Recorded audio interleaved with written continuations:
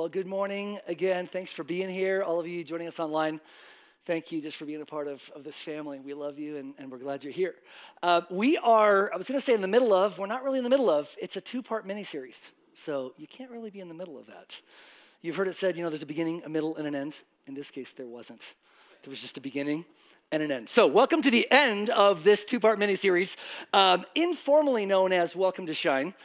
That's what we call things when we don't really know what to title them. So we're like, hey, here's a little bit of what God's doing around here in 2022, we think. So there it is. Uh, but I'm excited. If you didn't hear Pastor Dan's message last week, I encourage you to go to our YouTube channel and listen to that. Uh, it was all about God kind of shifting our perspective from, I think, what by default in this world, we oftentimes tend to see business or life or maybe even church as we start with a vision, we clarify the tasks, and then we bring people in to do those things. And hey, sometimes relationship is kind of a byproduct. Maybe we get there, maybe we don't.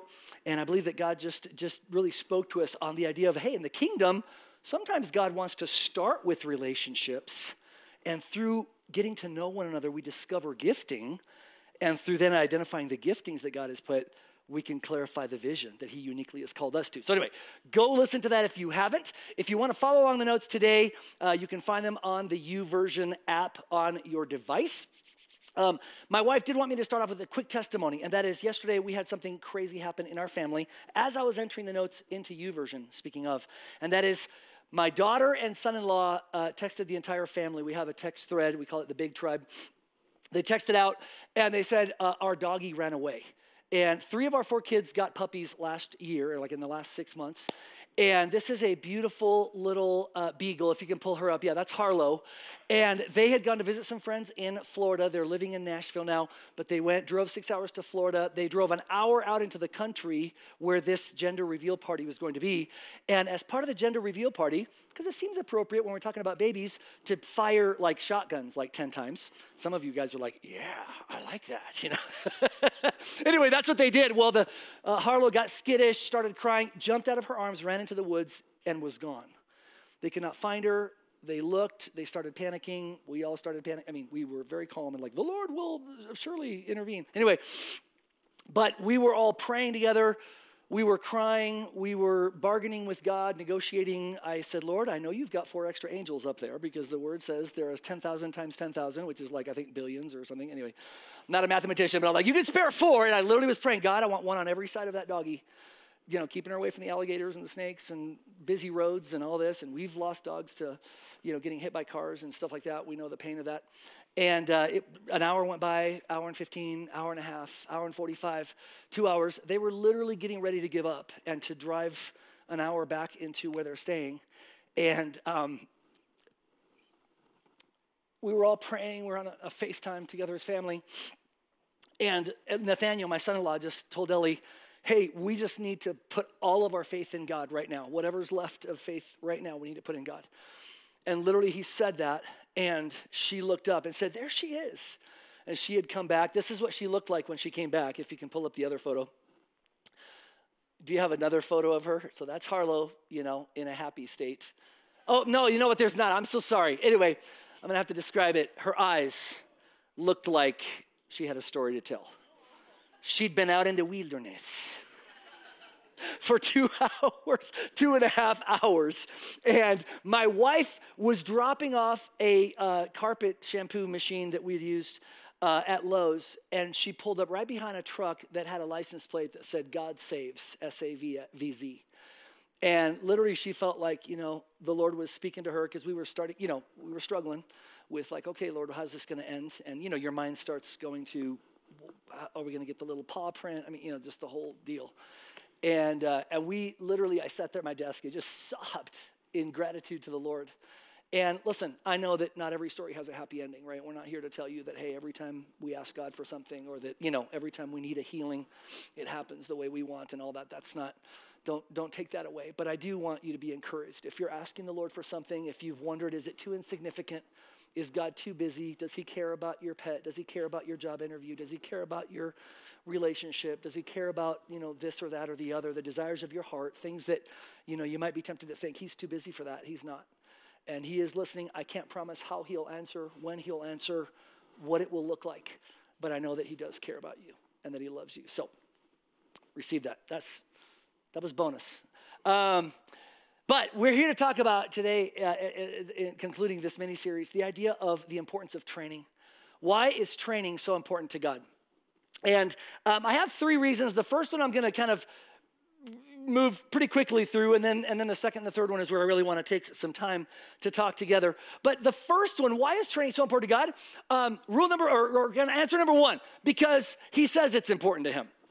When God's word says something matters, then I think you would probably agree with me. We can all pay attention to go, hey, that might be something to pay attention to. So, Pastor Dan talked about Ephesians 4, verses 11 through 13 last weekend. I'm just going to take one more opportunity to read it with you because I believe it is that valuable to what God is speaking to us as a church. But it says this So, Christ himself gave the apostles, the prophets, the evangelists, the pastors, and teachers.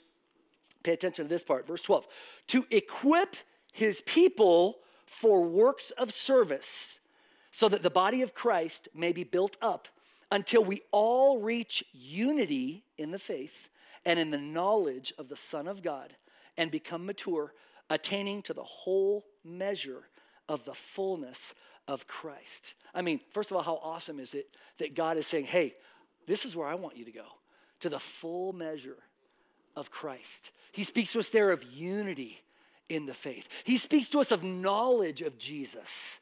Does that sound like something that you want? I think it's something we all want, right? And that word knowledge in Scripture, I believe both in the Greek and the Hebrew, speaks of a very experiential knowledge, right? I mean, in the Old Testament, like Adam knew Eve, and then little baby, you know, Seth came along. So, anyway. Tough crowd, man that literally is so, you know, meaning very experiential, very firsthand, very practical when we know someone, when we know something. God wants us to know Him at the depths of our being, at the depths of our spirit.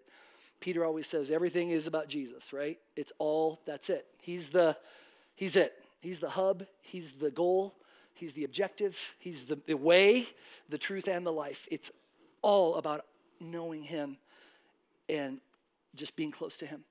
Um, but here's the thing, just real quickly, right? When we read this passage, um, all of those leadership roles that, that are gifts to the body, did you catch what they're supposed to be doing?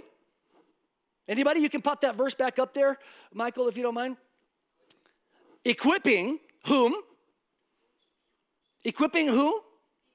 The people, the body of Christ, yes, for what? Service. And do you know what that word service is?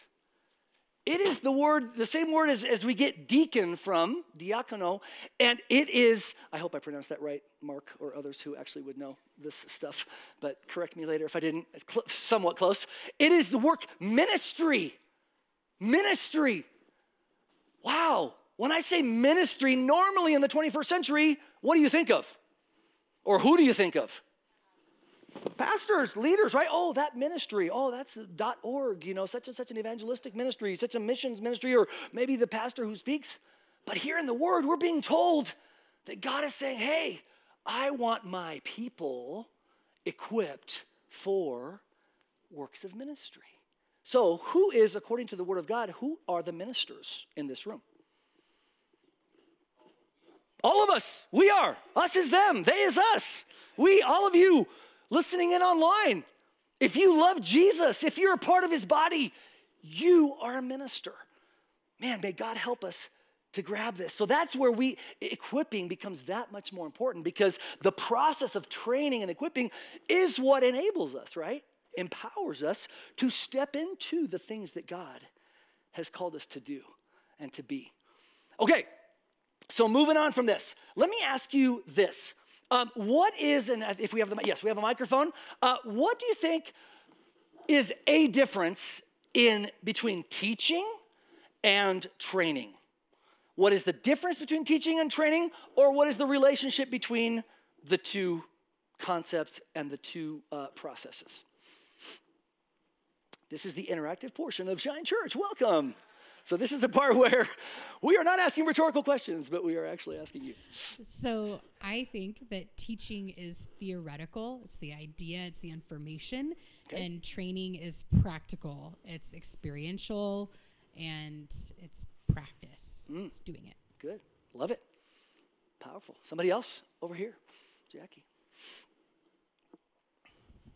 Um, I immediately thought of give a man a fish and you feed him for a day, teach a man to fish and you feed him for a lifetime. Wow. Very good. Mm-hmm. There's a multiplicational element and an ability to, yeah, that's great. Somebody else? And then we got one in the sound booth after that.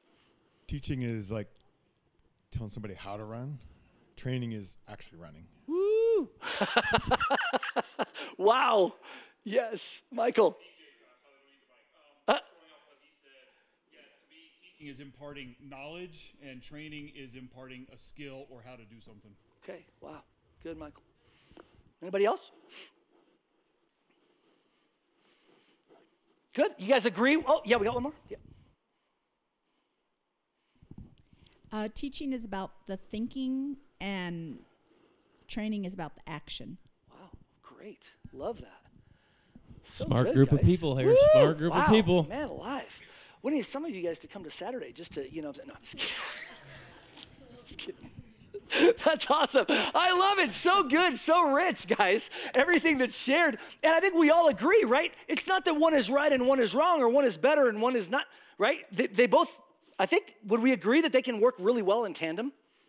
That, that as our mind is renewed, then that then facilitates us to act or to do, right? Out of the, the overflow of, of how we think, right? So I think such a powerful thing, but they're not exactly the same. And I believe that God is saying, hey, I want to incorporate both in greater measure. And he's saying that in his words. Uh, a couple of thoughts I had is um, I I wrote down um, training is about becoming, not merely knowing. Um, the goal is transformation, not just information, right? And I think we would all agree with that. And again, they're both so important and they can both work hand in hand beautifully uh, in the kingdom of God and to help us become. Uh, what God is calling us to be. Just that I thought about this. Um, I know a lot about the, well, I don't know a lot, but I know some about the Navy SEALs, right? I mean, I've learned about Marcus Luttrell. Anybody? Have you read the book or did you see the movie? No, I'm just kidding. You don't have to answer that. Somebody loaned me the book and I just ended up watching the movie instead. But you know, it's all the, he talks about lone survivor, right? This unit of, of Navy SEALs that gets dropped in the hills of Afghanistan and then end up getting, you know, given away by a shepherd boy and, and get shot at for, you know, six hours and all of them die except for one. Sorry, I didn't sorry spoiler spoiler alert whoa okay. Ooh, sorry about that. Anyway the point being i i know that. I anybody seen uh, maybe uh, american sniper? I know all about, all about chris kyle and all about wow on a rooftop and he's got the little spotter and they're like all right click click click you know three clicks and yeah i can tell you all about navy seals i can tell you about six minute miles. I can tell you about working out and growing beards and being manly and all this kind of stuff right? But would you agree that doesn't make me a navy seal? Would you want me to be the only line of defense between you and. Don't answer that.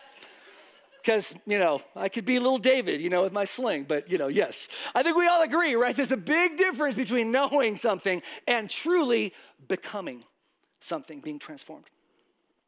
Um, why is transformation, why is training such a big deal to God? And why should it be a big deal to us?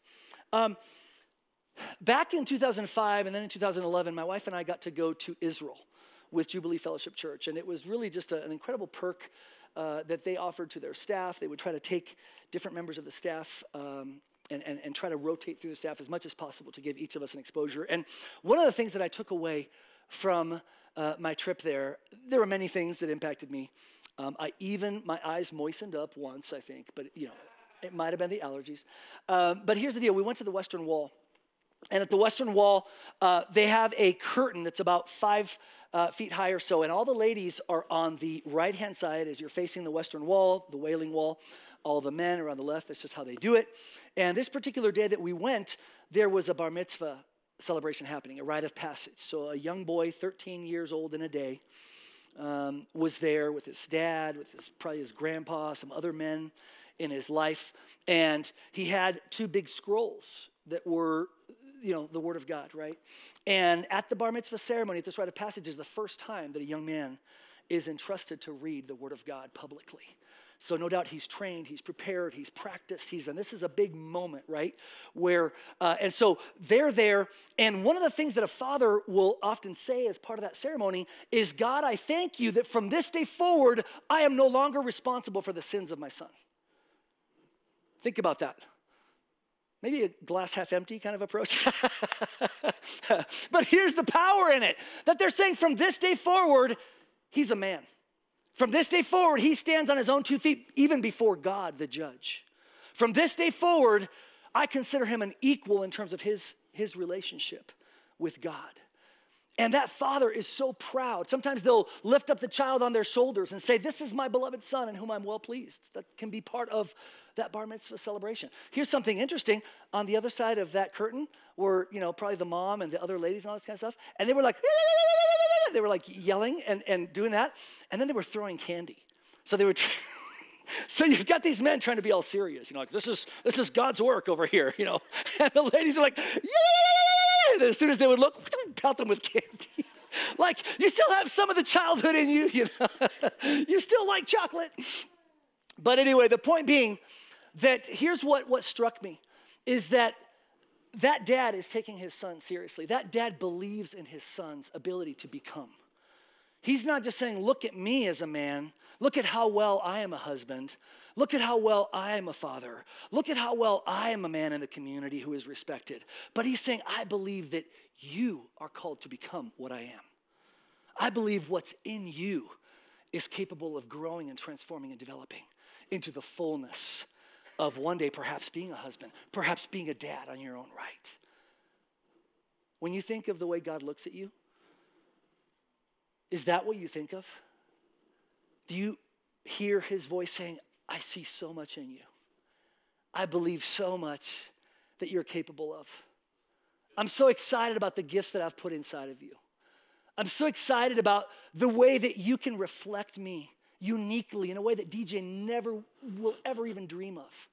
In the unique context, in the unique line of work, or the unique set of friends, or the unique personality that you have, or the unique sense of humor you have, or the unique way that you engage with people at the gym, or in the classroom, or wherever with your family around the Thanksgiving dinner table. Do you hear him? His father's heart of prayer. You know, a father is the first to see and believe in his child. Right? I believe dads often are like, you know, ah, is that a chest hair? You're a man, son. Rah! Is that a little whisker coming out? Ha ha, you're growing a beard and you're only seven. Yeah, that's my son. A dad, hopefully, if you didn't have that kind of a dad, man, I'm sorry. And I realize in this world we don't all have those kinds of dads. But I believe that the father longs for you to hear that that's the kind of way he sees you that that's the kind of dad he is. That he's, man, the tiniest little sign of, of gifting, of talent in any area, of, of passion shared for him or with him. Man, he's all over it, just shouting and screaming and cheering you on and calling that out and rejoicing over you. He believes in us, he takes us seriously. I believe that's what the second reason that God is so excited about training is because it reveals his father's heart for us right? And what is his father's heart? What is his expectation? What does he believe about us? Well, Luke 6, verse 40, Jesus said this The student is not above the teacher. But listen, but everyone who is fully trained, say fully trained, everyone who is fully trained will be like their teacher. Who said this?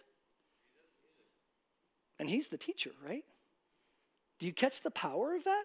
He's telling us, I mean, correct me if I'm wrong, I think he's telling us that as we become fully trained, we're going to look more and more like him as our teacher. Is that, do you get that out of this?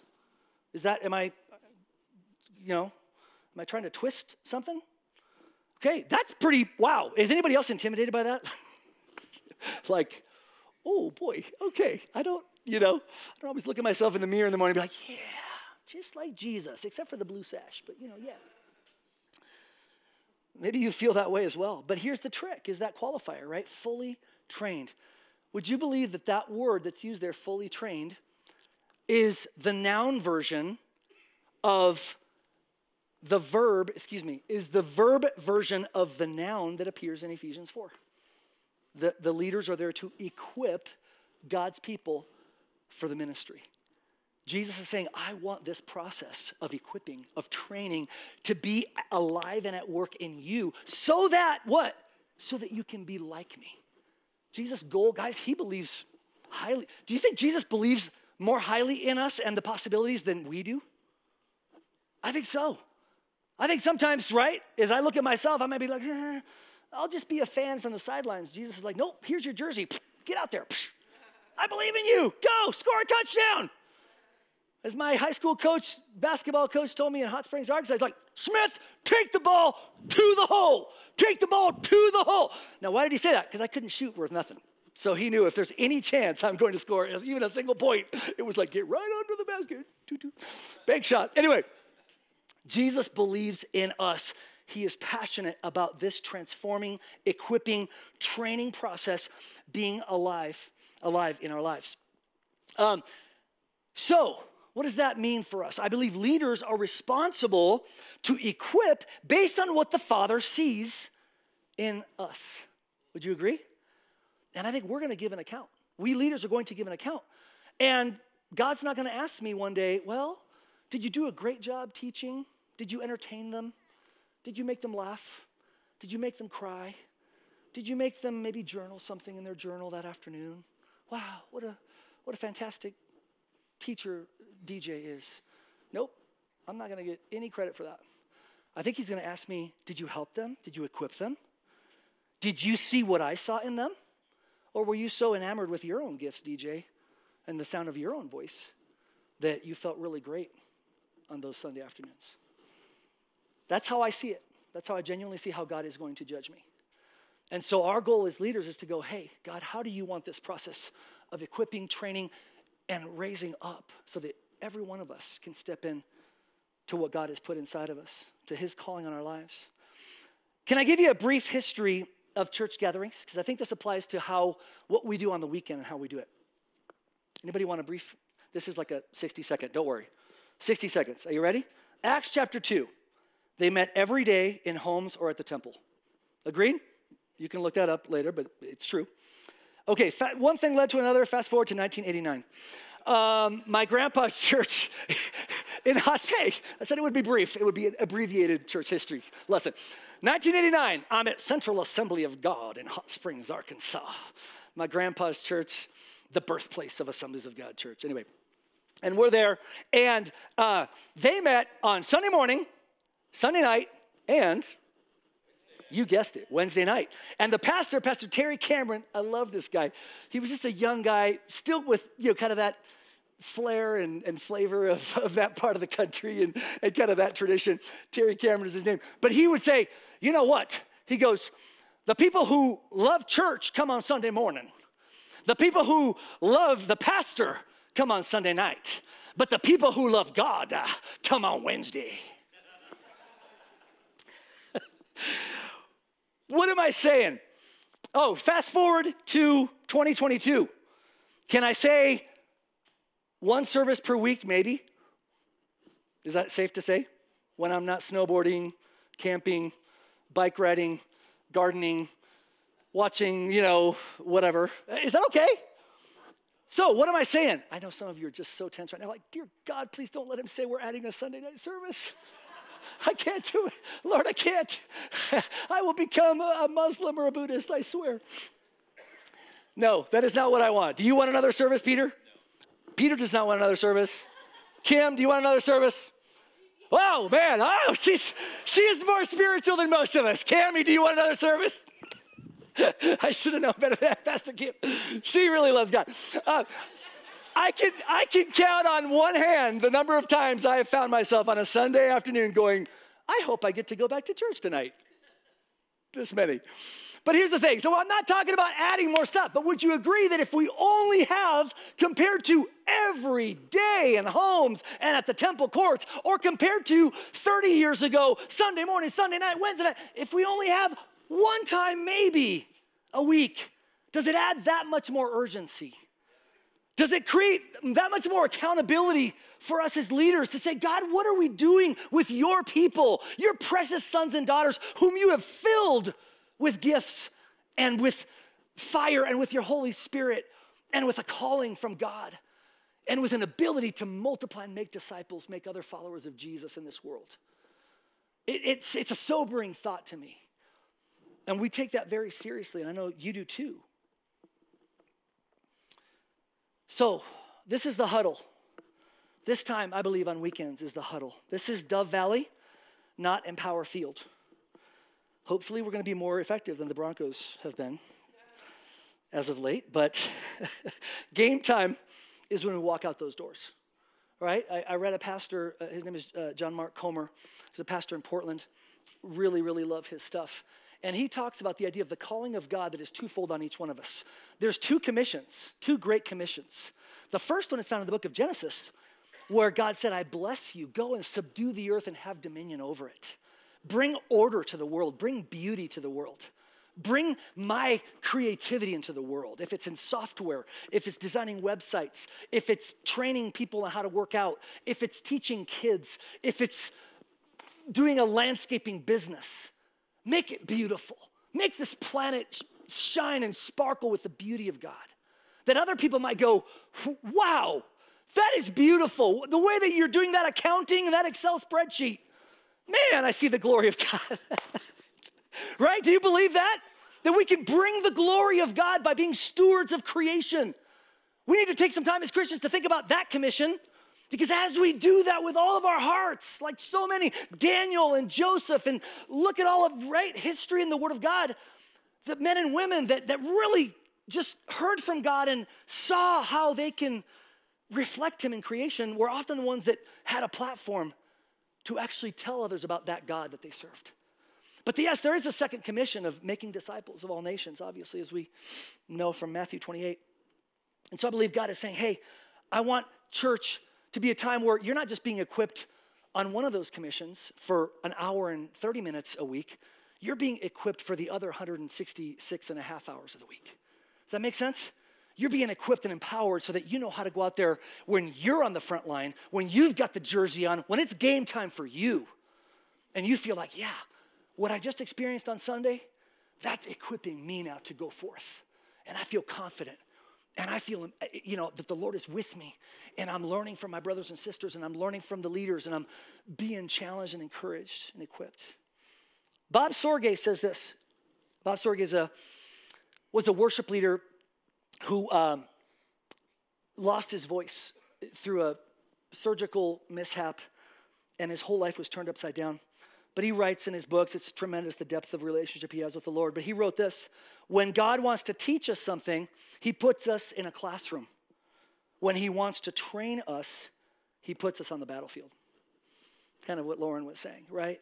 When God wants to teach us, and that's important, he puts us in a classroom. We need to learn stuff, right? It's important. But when he wants to train us, he might move us to the battlefield, let us actually have battle experience. Side note Judges, the first couple chapters, speaks of God even leaving some enemies in the promised land on purpose so that the next generation would learn warfare.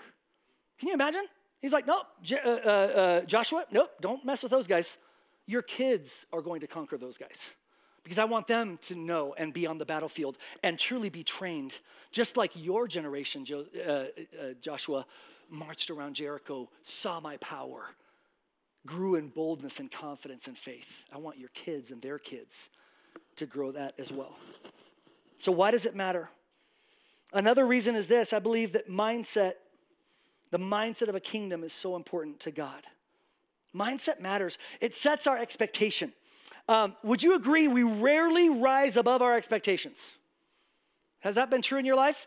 I mean, I ran a marathon um, too many years ago to count, as you can tell.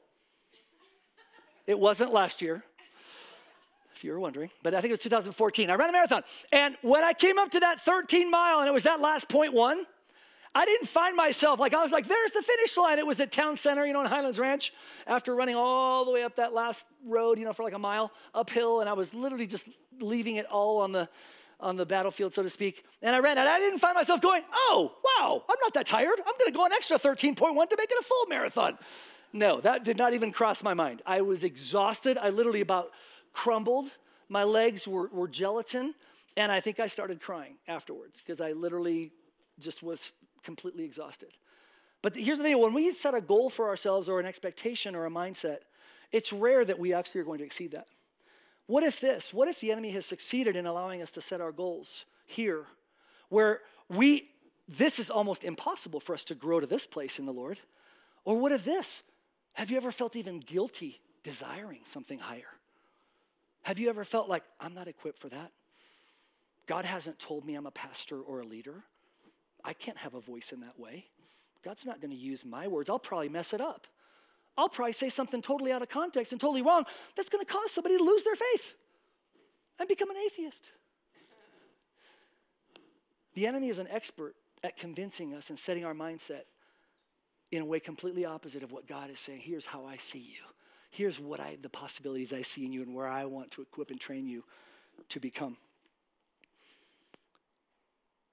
Somebody said this God is counting boots on the streets more than bottoms in the seats. And I think that's something we can all get around, right? I don't think he's counting, oh, wow, look at Shine Church. They've got 76 people sitting there.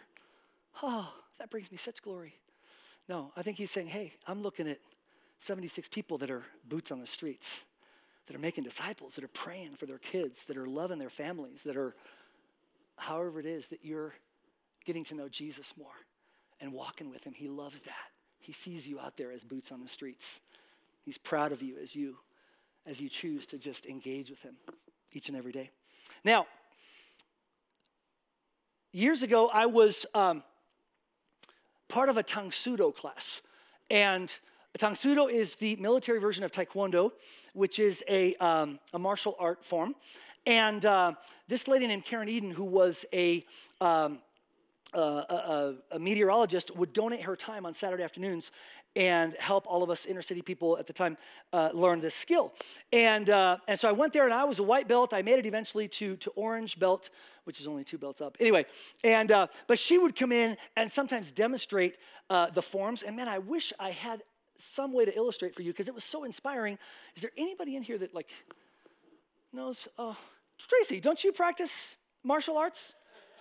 Yeah, wow. How, what a coincidence that you're right here at the right time, right when I need you.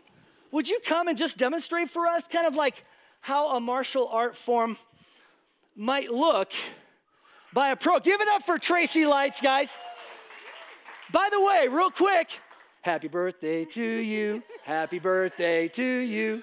Happy birthday, dear Tracy. Happy birthday to you. I didn't tell you I was gonna do that. Give it up for Tracy Lights. Okay, maestro, cue the music. Oh, no.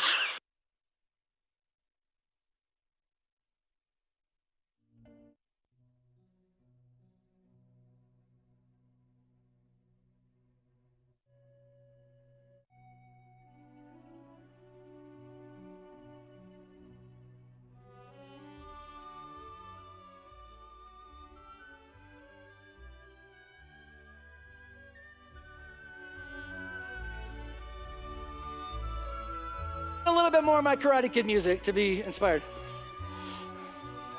Thank you so much, Tracy. One more hand for Tracy. You are excused. It's your birthday. Go out and have fun with your family. So here's the deal. Thank you so much. Here's the deal. So Karen would do things like that, right? And, and just all intense and would be demonstrating these skills.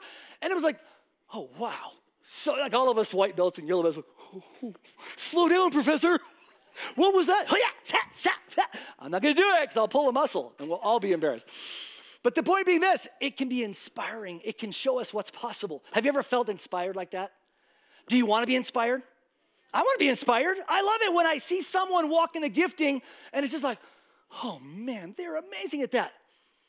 I love that. I believe God wants us to be inspired. I believe He wants us to be, you know, just, just that spark inside of us. Let me ask you this Do you think sometimes demonstration by the pros at that level, she's a third degree black belt. Do you think sometimes demonstration like that, if that is all that I experienced, could that ever become discouraging? Could that ever become overwhelming? Could that ever become something that actually hinders my progress? Because it's just like, oh, wow, sensei. I keep eye contact.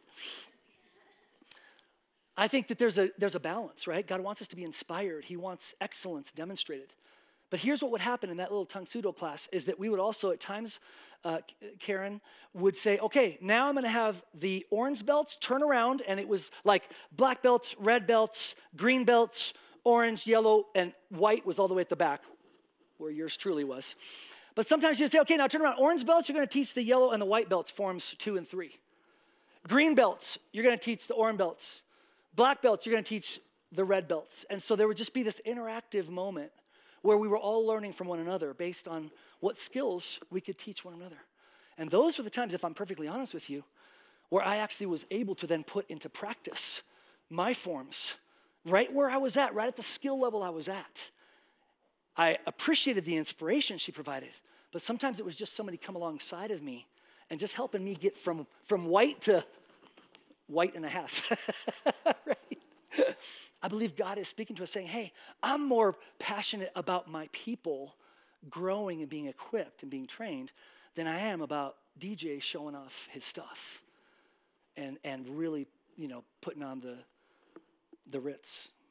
I hope you sense that passion. He's trying to change us from a, a church centered mindset where it's all about what happens in this room and what the leaders do to a kingdom mindset where all of us are out there reflecting Jesus, glorifying Jesus, attracting others to Jesus just by the joy and the love and the giftings that are in us. You know, training's not just a one-way street. Colossians 3:16 talks about we can admonish one another, right? And teach one another. We're called to do that in the body of Christ. So, with that in mind, by the way, on the U YouVersion, there's a little bonus category. I'm not going to talk about it right now because we're going to jump into some interaction. And it's all about abolishing the faulty, centuries old notion of the separation be- between clergy and laity. Go on U YouVersion, read all about it, extra, extra. It talks about the idea that clergy refers to an inheritance that we all have received from the Lord. That's what that word means. And laity, the way it's used nowadays of a division, actually wasn't even used until some dude in 95 AD, wasn't even a scriptural thing, wasn't in the New Testament. And then in the, in the third and fourth centuries, they began to, to talk about, well, it's for the untrained, the non professionals. The, one of the words used is even the same word for idiot, is the people that like they don't know. The, the, the priests are the ones that are qualified to speak the words of God. All the rest of the people are down here. Read all about that. It's a, I believe, a demonic separation that was never intended in the heart of God and certainly is not found in Scripture. So, interactive time. Um, wanted to ask three questions, and you can answer any of the three. Is everybody okay, by the way? Are you okay? Do I seem angry? No? Do I seem, fr- you know, I, I don't want to come across like I'm, I don't know, I feel like I'm, I'm feeling intense, and I don't want, I, I hope I'm super joyful about just what I see before me in you and just what God is already drawing out and I just believe that he's just going to increase that. I'm just so excited because just by that. Oh yeah, it's my. You saw that. You saw it. Could we all agree it would be much more deadly to meet Tracy in a back alley than me? I mean, I think we all. Okay, she's awesome. So here's the questions. Number one, you can answer any of these you want in no particular order. What fruit have you seen from our interactive times, right? We've already put into practice some of this, passing the mic around, sharing different things, scriptures, thoughts. So, what fruit have you seen? What have you liked? What have you been blessed with in that? Or you can answer what makes you uneasy about the interactive times. I think it's safe to say that when we do kind of different things, it might not always be whatever, it's something that we've all experienced all of our lives. There might be some discomfort, there might be some, you know, maybe sheer terror feel free to answer that. What makes you uneasy? Um, and we will love you. Don't, you're not going to be judged. You're not going to be, just, we're a family, so we can share openly with each other. Last, what can we as leaders do to help empower and facilitate this kind of equipping mindset, this kind of training mindset where there's opportunities, as we said, in these precious times we have together, which are once a week, if that, what can we be doing to help equip you, to help do this better, to help guide from pitfalls? Um, so, what do you love? What makes you uneasy? What can we be doing better? Obviously, if you have technology types ideas or, or what can we, tools that could be used, love to hear that as well. So, who wants to be first? Welcome to the interactivetime.com. Okay. Right up here. So uh, this is the best part is the part that makes me uneasy is I have never ever once nailed the answer. I am always wrong. You just did. What are you talking about? That So- was the right answer. But see, but again, I was wrong because I said it was. Yeah. um, I'm encouraged by it because I feel like it's really a chance. I hear other people kind of going out um, out of their comfort zone to share, and I think as we learn to share in a very, very, very safe environment, it hopefully makes it easier s- for us to share at work, to share with our neighbors. Right? We've we're, we're in that training. I, I absolutely see this open the open mic night um, as as part of that training and part of the equipping. So I'm really encouraged by that. Even though I say the wrong things all the time, I love I'm that. cool with that too. Powerful insight that even if this is a safe place where we love and trust one another, we can say the wrong thing or, or a thing that we're like, oh, wow, after hearing so and so, maybe that. But it's safe and we can grow and learn. It gives us confidence for outside these walls. I love that. Um, just to piggyback off of that, I'm an extreme introvert, but I want to be more outgoing. I crave that. I think it's people that are extroverts seem to have more fun, and so I, tr- I, I, I long to have that that um, quality, but it's it's hard for an introvert to do that. Um, Pastor Dan challenged us several weeks ago. He said, if you can't speak in front of your family, then it's t- hard to speak in church with your, you know, it, and we call ourselves a family. So none of us have any problem saying anything with our families around the dinner table because that's comfortable. But so that's helped me to grab this mic more because I do consider us a family, and so what I have to say might help someone else. So. Love that. So love that. And so thankful that you do feel that, Heather. You absolutely are an amazing part of this family. I think Andrew had one actually while we're winning. Uh, yeah, a couple things. Uh, I would say, like the church service that I've felt the most connected to, you know, just everyone was a couple months ago when Janelle spoke on the Word, and everyone shared their individual scriptures and how God spoke to them through that. That like, holy cow, that carried me for weeks. Like that was awesome. Um, so I would say I definitely love when there's an opportunity f- to hear from each and every one of you in this room about real, genuine faith that God has given you, and um, it's inspirational, it's encouraging, and um, yeah, just help help me really connect with God next couple weeks. And then the other thing I'll say is, uh, I love this idea of training and equipping, and getting to step out and practice. Um, and the leadership like at shine your job is to help us build that confidence like you just kind of connected um, in here first and then out there so i don't know what this is going to look like but i'm excited that you guys are stepping into it and i'm proud of you um, and i want to see yeah i'm excited to see what happens Thank you so much, Andrew. That was, did anybody else remember that weekend where Pastor Janelle shared? I mean, there was such a, I remember there was one particular person that shared about, you know, being born to a, to a couple out of wedlock and just how that had weighed on him. And I believe it was Psalm 139, just about God being in the midst of, of him being knit together in his mother's womb. It was so trusting and vulnerable and all, I feel like everybody who heard that as I just was like on holy ground, right? Because there's just something that we can't I don't care how good of a speaker I am, I can't replicate when the Holy Spirit is just doing his work of art and just weaving and, and conducting the orchestra through all of us. Love that. Thank you, Andrew. Well, one thing that kind of everybody was bringing up um, reminded me that, you know, God, mean, we don't come out of the womb walking.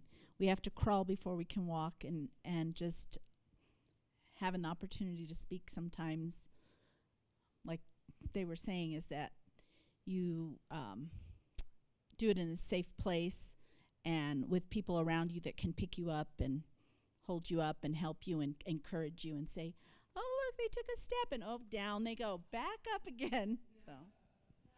So good. So good.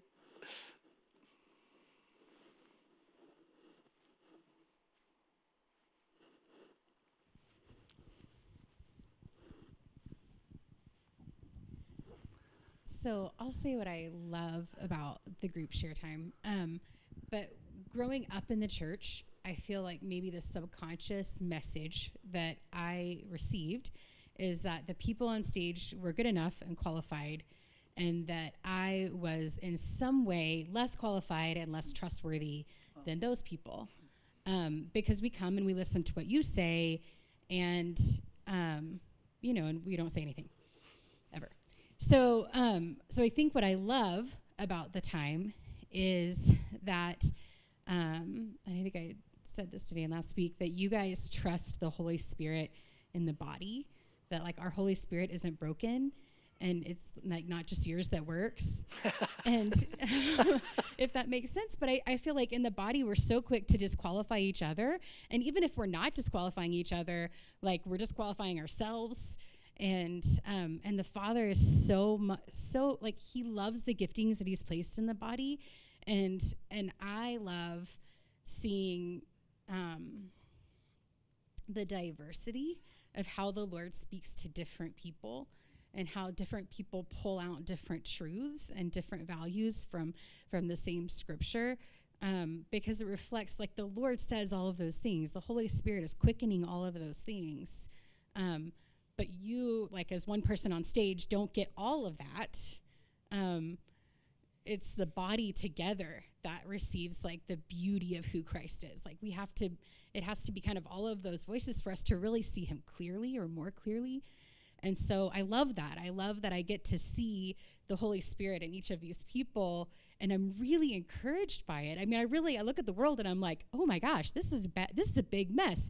And then i get to see the holy spirit speaking to each one of you guys and i'm like this is beautiful. It's okay. Like there's a lot of people who love the lord and the holy spirit is at work and i'm excited about what the lord is doing. And so that's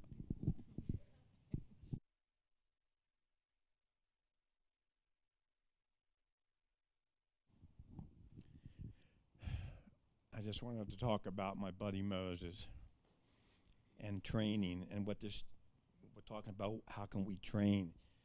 And what she said a minute ago it, it doesn't happen in an instant. We don't walk come out of the womb walking. I think of moses. Here he is a baby. God knew the potential in him. When he's floating down the river in a, as a baby in a basket and he's trained into the echelon of egypt to be a leader. And we all know how that worked. He ends up killing someone and he runs to the desert and he's trained again, but this time he's trained by God. And it took him 40 years. And God's instructing him and training him. And he comes out and he says, God, I can't do this. I can't do this. And God knew his potential. And he says, Give me my brother, Aaron. Three chapters later, Moses didn't need Aaron. It starts as little children when we take our kids to Sunday school as babies, through the nursery, into Sunday school. It goes then into junior high and high school and the middle group that you're talking about, the people that are 18 to 30. It's a lifetime of training. It's not a, I'm equipped after two days or a year. And this church is providing that training in all the things that we do at different age levels. That's training and that's equipping.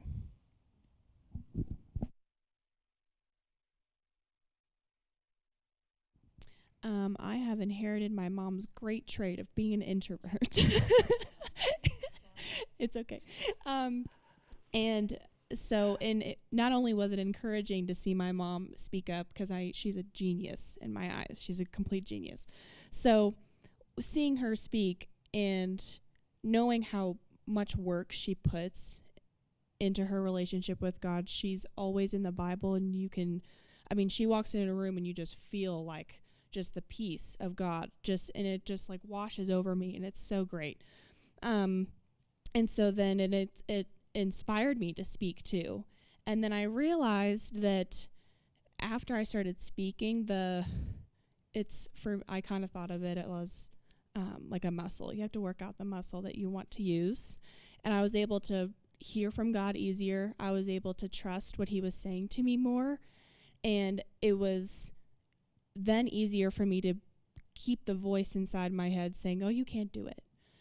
Whatever you're thinking, whatever you think that you should say, you shouldn't say it. And it, then it was easier for me to keep that voice quiet and raise my hand, be like, I'm going to say it, even though I'm shaking right now. I'm going to say it. And now it's it's still there. it's still there, but it's it, I'm not shaking as much anymore. And it started from one person picking up the mic, and that can be not just my mom; it can be anyone. And it's just so encouraging to be surrounded by those same people, you know. So powerful. And what a great example of like, you know, maybe she was your orange belt or your red belt, you know what I mean, teaching you and training. What you saw in her gave you confidence and has given you. And the more that you've kind of stepped out into that, right? You still kind of feel that, but like a little a little easier each time. Maybe just a hair, right? I love that. That's total growth and equipping and training happening in your life. It's it's alive in you, Elena. Good job. Other thoughts? So yeah, what's working, what, what isn't, if, if someone wants to share uh, what makes you uneasy. If, if, we, if we press more into this, mm-hmm. what are some pitfalls that you guys think we might run into?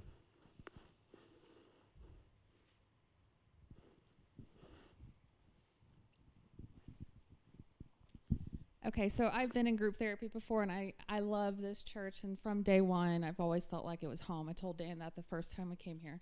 We are from Dallas. Go Cowboys. um, we've only been here two years, but it's just it's just drawn me in, and it's felt like home.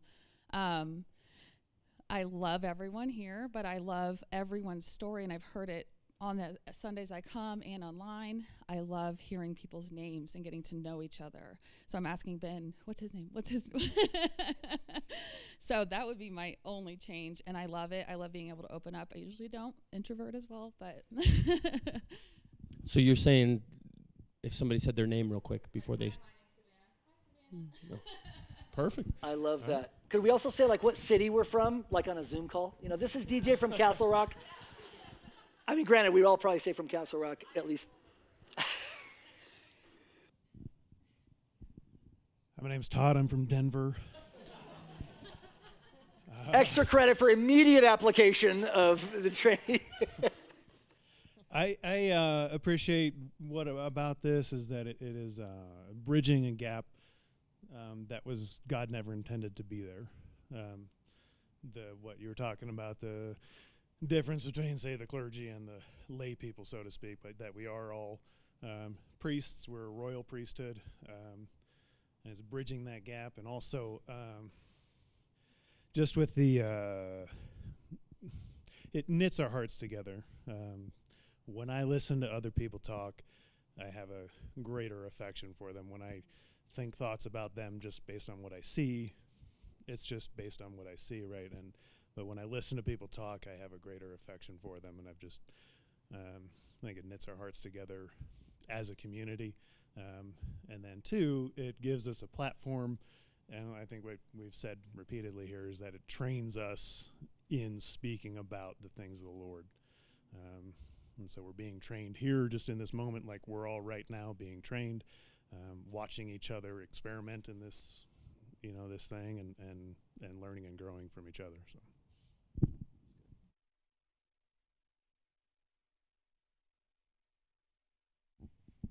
What's up? My name's Peter. I love that, by the way. I do love that because as a family, like we should be able to know each other. Um, okay, so I honestly, what's funny about this to me is that like I've gotten up on stage here and even taught, And there's something that's more nerve wracking, I swear, about doing this, like than raising your hand. Like, it's weird. Like, even for me, like, my heart starts racing. So, like, and I'm an extrovert. So, like, there's like, I can't imagine how hard it is for some of you guys because it's hard for me.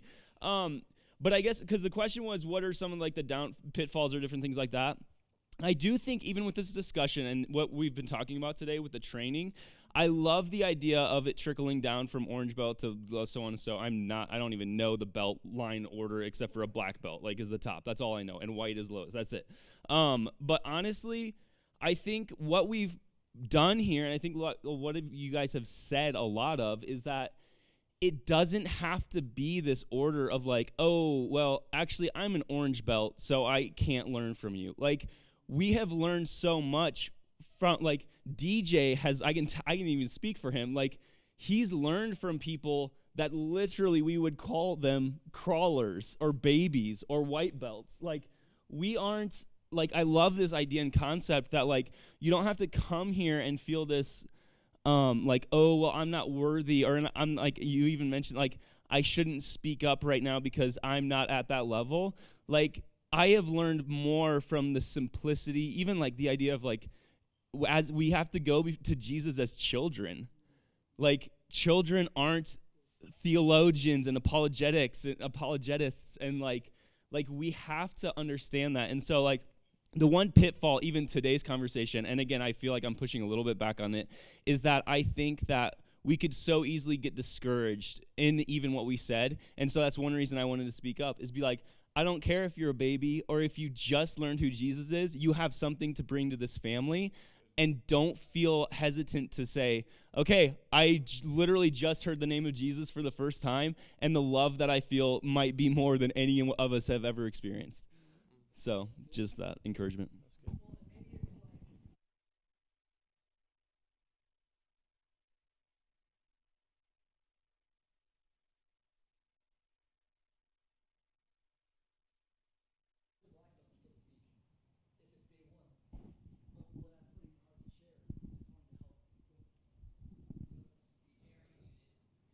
Uh, oh, wow. Wow. I was muted. I'm sorry. I thought I, sorry. Um, okay, yes, one more. Well, one more, but the uh, thing I like about this is it shows that we're, instead of just observing, we're participants. Mm-hmm. You know, and as we share, it sh- kind of shows that we're actually listening and paying attention, and if we say something, it actually could help somebody understand what you guys are saying in a better way.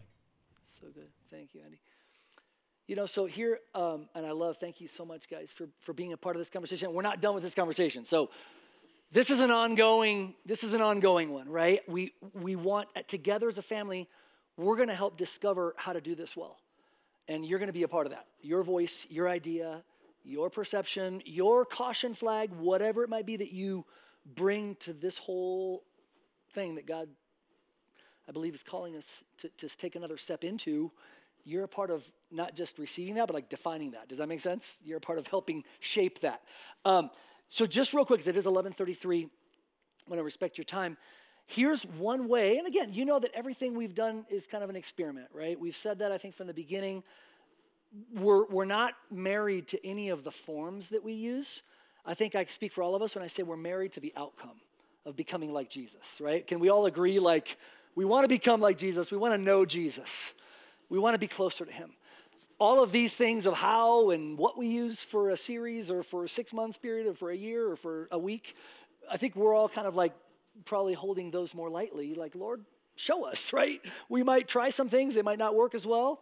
We might tweak them, we might throw them out, then other things might work great. So I, we appreciate just that sense that you guys have of like, hey, as long as there's a good chance it could be effective and draw us closer to Jesus, then maybe let's try it, right? And so thank you for for that. And so I think that's kind of what we're saying. We're not saying we're going to turn everything upside down and next week when you come, you know, whatever, right? Like don't don't be afraid of oh no. Oh, what? But I think we are thinking of of taking kind of this this idea that we all have the Holy Spirit, that we all hear from the Lord, and just how do we take maybe one more step, right? In terms of that, one of the things that we'd like to try is we like to get out. I know last night somebody mentioned, particularly for the introverts who've been mentioned a couple times. We love you, introverts. Um, sometimes it's hard to just hear something and be asked to respond in the moment. Like, you know, maybe I was, I know you guys never argue with your spouse on the way to church or anything like that, but, you know, um, and we haven't ever either. Just mess.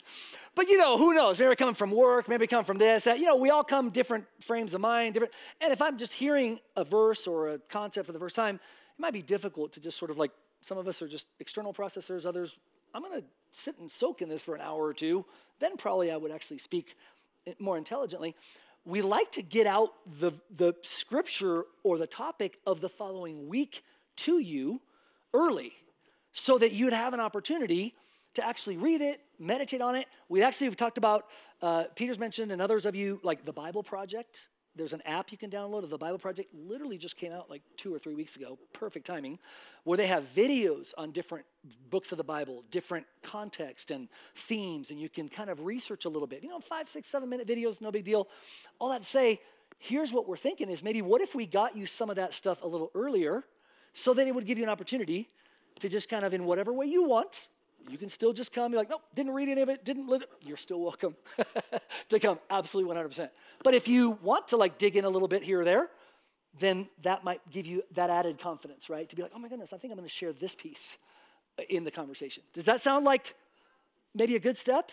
So, but please let us know as we go. Email us, comment on the weekend, whatever, what's falling down, what isn't working, what we can do better we're not trying to be like, oh, good luck with everything. Have fun storming the castle. You know, we're, we're as pastors and leaders, we're very much wanting to be present and helping at every step of the way. So we're not trying to like, you know, does that make sense? We're not trying to like, good luck with that, but we're very much, how do we together and how do, what role do we maybe uniquely play in helping you grow um, and all that. So uh, putting that into practice for next weekend, here is the verse that we are going to be looking at, or the passage that we're going to be looking at. It's in Ephesians chapter 4, if you can pull that up, Michael. And uh, we're going to read the first five verses. It says this As a prisoner for the Lord, then, I urge you to live a life worthy of the calling you have received. Again, he's not talking to pastors, he's talking to the body of Christ. Each of us have received a calling. Uh, be completely humble and gentle, be patient, bearing with one another in love. Make every effort to keep the unity of the Spirit through the bond of peace. There is one body and one Spirit, just as you were called to one hope when you were called. One Lord, one faith, one baptism, one God and Father of all, who is over all and through all and in all. So, what a powerful passage. I believe that one of the first things we can do that God wants us to be equipped and trained in is what are the attitudes and the heart postures that we can have as Peter, Peter mentioned, hey, I might be pushing back a little bit on this, or do you know what I'm saying? If, if one somebody shares one thing and maybe you sense a little bit of like a, a balancing perspective, if that makes sense, or a little bit of that tension of the of the tent that we talked about last week. Um, how do we do that graciously as he did, in love, in humility, that, that the other people all around us feel encouraged and uplifted? This passage, I think, speaks to that and gives us some secrets. So I know specifically in verse 2, there's three or four specific qualities that are mentioned there. Maybe look into those. Uh, meditate on this if, if the Lord leads you to do that. Come back ready to share next weekend. Anything else that we need to say? Good? You guys good? Okay. Well, God bless you. May the Lord bless you and keep you. Make his face shine upon you. I forget the rest of it. It's all good. God bless you. Have a great weekend. Vaya con Dios.